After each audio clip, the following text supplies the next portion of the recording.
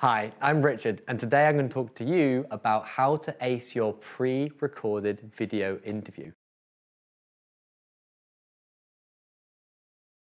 Now, since the pandemic, pre-recorded video interviews have become the standard. This is an interview where you'll be asked a question on screen and then it will likely cut to blank and you'll have between 30 seconds and three minutes, usually one minute to one and a half minutes to answer that question.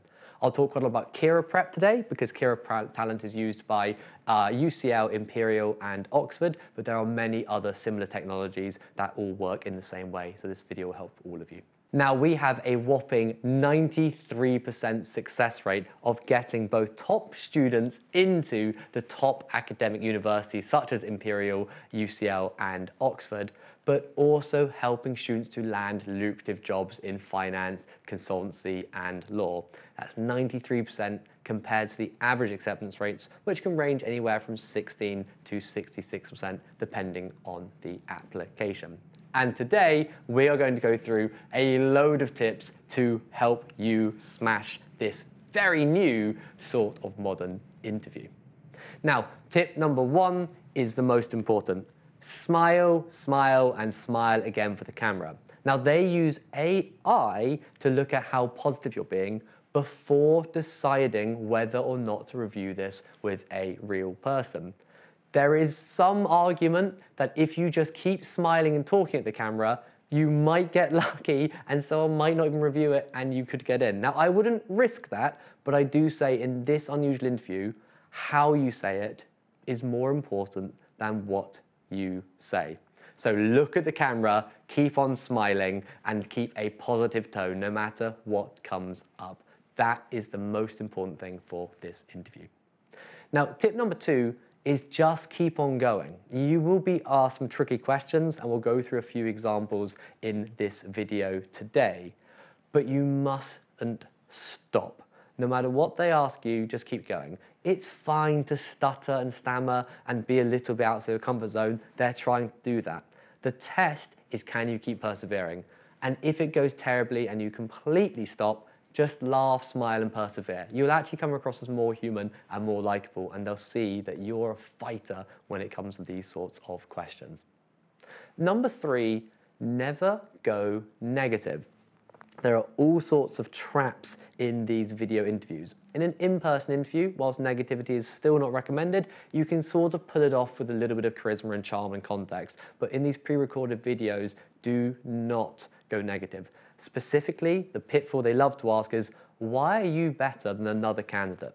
Why should we give you a place and not someone else? Ignore the negative element, it's a trap. There is no way to put someone else down without making yourself look catty and therefore not as strong. Just focus on yourself, look forwards, not sideways, and talk about positivity. You can even ignore the second part of the question and say, well, this is why I'm fighting for my place and why I think I'd be a brilliant addition to your team or your cohort. Now, the next tip is to make sure that you have good background, lighting, and Wi-Fi.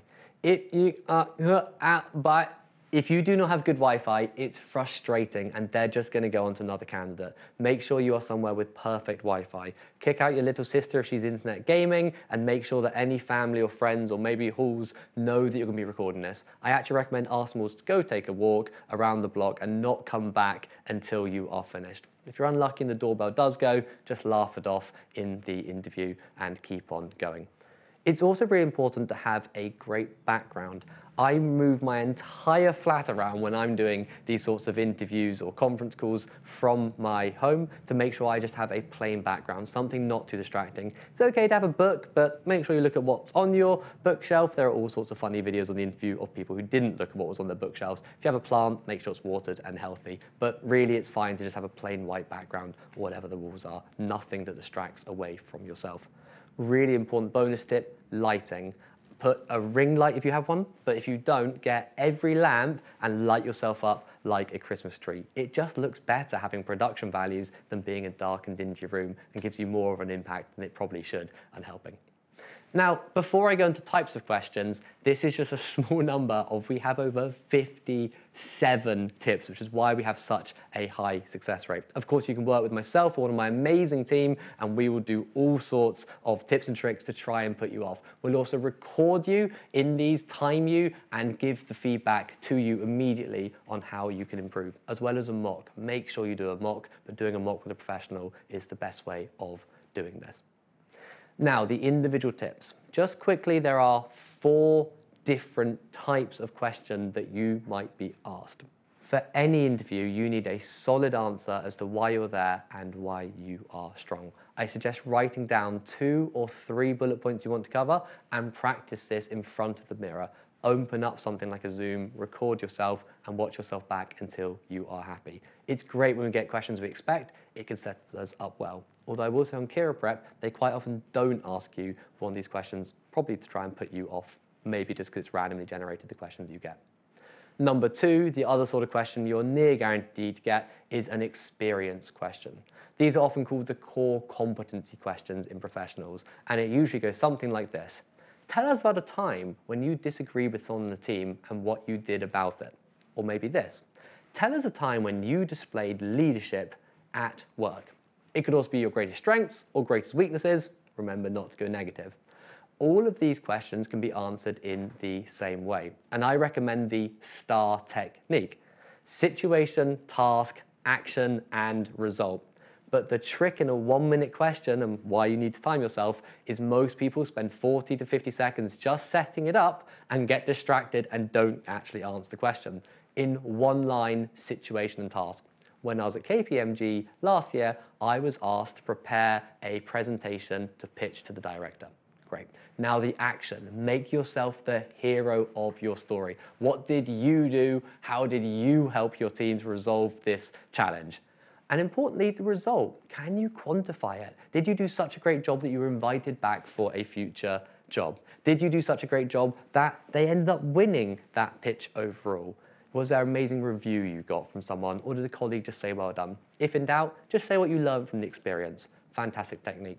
Also, you don't have to have loads of different experiences. I recommend just having one or two that you can adapt to any sort of question. Your greatest strength can also be a time that you achieve something, and if you have some sort of negative you know, teammate or boss that caused you a bit of difficulty, you can talk about them and how you overcame that being able to adapt it. Don't try and learn 20 different examples. It's too much to remember. Just do one well.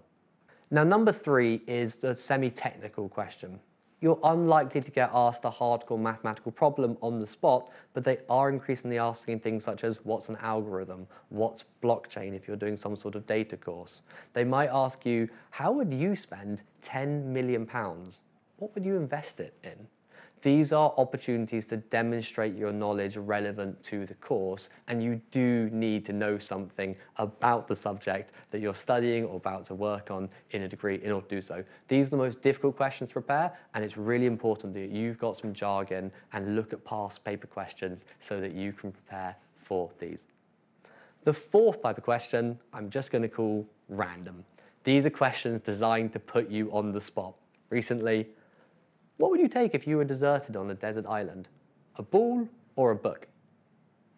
Do you prefer travel or study?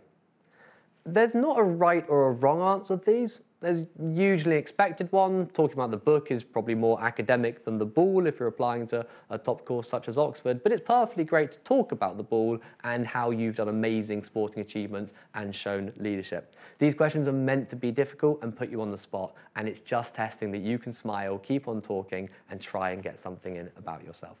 Now, that's just a tiny amount of the 57 tips that we have, as well as all of our massive question bank of hundreds of past questions for these pre-recorded video interviews. If you'd like to work with professionals such as myself, please do get in contact using the information on screen below. We also love to help everybody, so if you've got a budding question, put it in the comments below. Or share some of the weirdest questions that you have managed to overcome in your own experiences. You can also read the full Kira Prep guide online, which will be linked into this video. And if you found this helpful, please do like and subscribe. Best of luck. We're rooting for you.